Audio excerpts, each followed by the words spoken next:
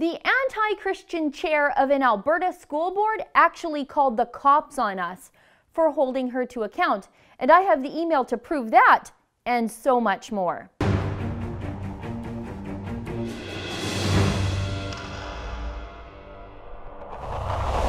Remember when Cornerstone Christian Academy in central Alberta was asked to stop teaching passages of the Bible by the head of their very own school board, a woman named Laurie Skori? Well, Skori tried to use her position as the head of the Battle River School Division to make Cornerstone Christian Academy censor parts of the Bible that she personally didn't like. She took particular disagreement with 1 Corinthians, which reads, Neither the sexually immoral, nor idolaters, nor adulterers, nor men who have sex with men, nor thieves, nor the greedy, nor drunkards, nor slanderers, nor swindlers will inherit the kingdom of God.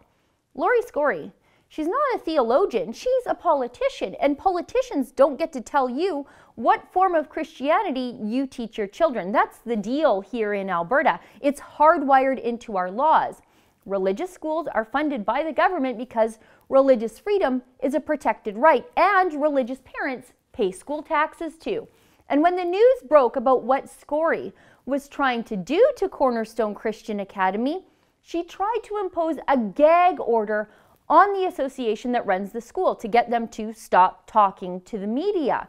Skori even went to the home of the head of the society that runs Cornerstone Christian Academy and tried to get her to sign that gag order. Pretty creepy, right? Then Skori tried to claim that she was the real victim here, not the parents whose charter rights were being violated when the school board tried to play Christian theologian. No, it was Skori because she said she received what she called accusatory messages. So, of course, we started a petition asking the school board to reverse their bigoted decision at therealbigots.ca. And then we hired a lawyer to help the small school fight back against these government censors.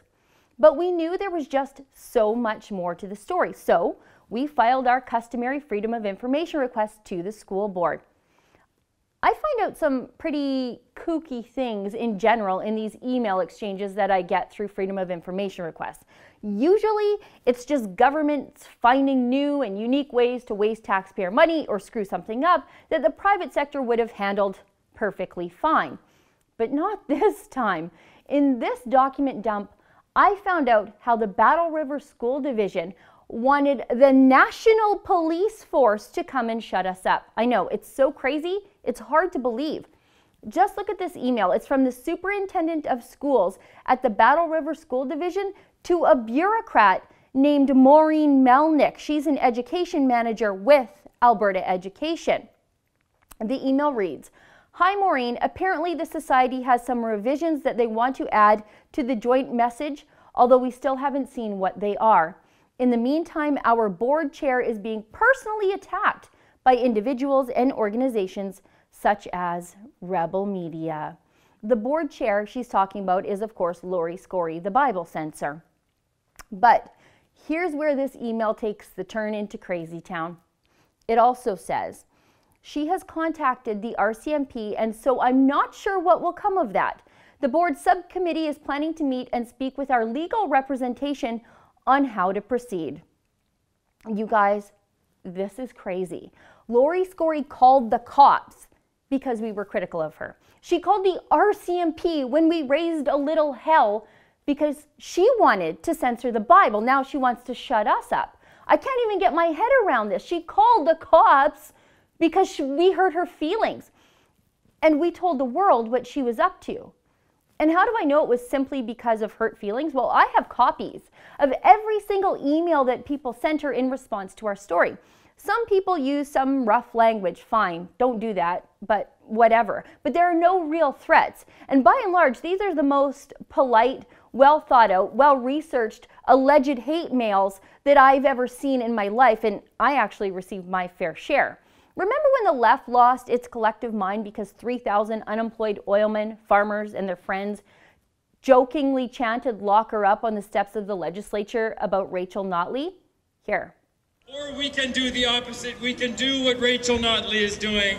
now and send jobs away. Which one's it going to be? We're not going to stand for that.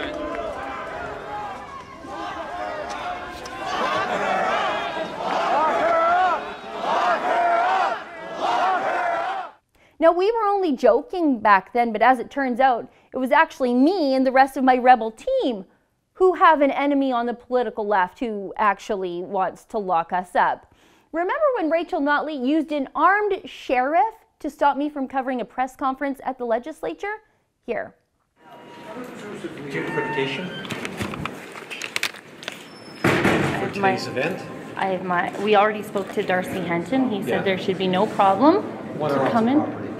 What? Sorry, why is that? Sorry, wh- why? At first, I thought this was all just a quirk, but this left wing inclination to use an armed branch of the state to silence their political critics and stifle effective journalism, it's a feature of the left and not a bug. It's becoming a formula for how left wing politicians handle uncomfortable scrutiny. You just call the cops. Well, I've got some news for Laurie Skori. I'm not done reporting on this story and exposing the truth yet. Not even close, because I have a whole stack of documents now, not just this one crazy email. Next week, in a series of videos, I'll show you what the real bigots at the Battle River School Division were up to when they thought nobody was watching them. I'll show you where Alberta Education was meddling in all of this and picking sides in the dispute between the school and the school division. I can show you where the mainstream media was mocking these parents. I can even show you an author- authoritarian attempted crackdown on a Christian pastor simply for being Christian and disagreeing with Laurie Skori. I'll even show you some of the emails Laurie Skori received from concerned Albertans all across the province that prompted her to call the police. They certainly aren't what she claims they are. If Laurie Skori calls the police every time someone sheds light on her political bad behavior, I think the RCMP are going to get real sick of her real fast. For the Rebel.media, I'm Sheila Gunn Reid. Next week, I'm bringing you all the important details from these Freedom of Information documents from the Battle River School Division. And I'll have more exclusive reporting on my weekly show, The Gunn Show. For full access to my show and all of our other premium content, click the link below to subscribe today.